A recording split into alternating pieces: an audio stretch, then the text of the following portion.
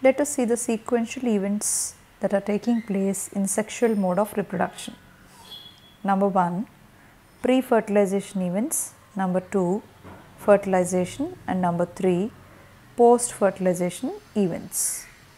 So, dear friends all these events are placed before fertilization, fertilization and after fertilization.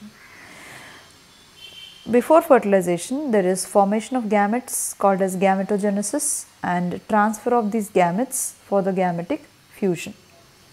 Next one is fertilization that is the actual fusion of gametes and we all know gametes are haploid in nature.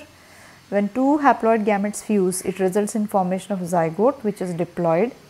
Zygote is known as the vital link between two generations and zygote is also the first cell of an organism. After zygote formation, what are the events happening? They are called as post fertilization events. The zygote divides by mitosis to form an embryo and it is this embryo that undergoes further cell division, differentiation and forms tissues and organs of the new organism. So, it is the gamete formation, gametic transfer, gametic fusion, formation of zygote, zygote becoming an embryo and embryo developing into a new individual. These are the events taking place in sequence during sexual reproduction in an organism.